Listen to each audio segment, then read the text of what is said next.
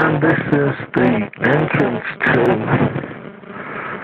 the, the Druid's Temple, or the track that leads up to. This track that goes from here goes right down to the road that takes you to Ilton. You know, so the road that you go along towards Ilton from Swinton, Ilton from Swinton.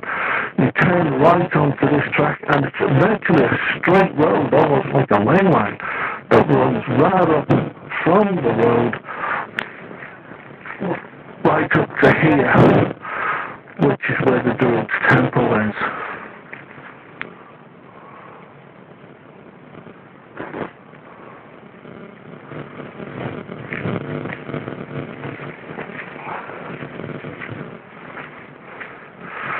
And uh, just bumped into the gentleman who owns the, the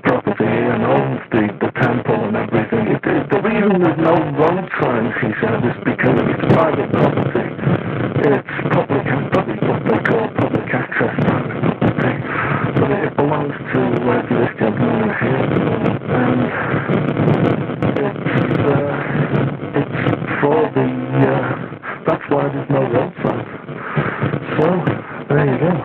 And this is the countryside that Russell described at those seances in uh, Canada. As I say, whoever Russell was, he, he knows this countryside well, but his name wasn't Russell and he wasn't a Yorkshireman. So who he was or what he was, Joe Fisher could never find out, find out but Joe was convinced he was a who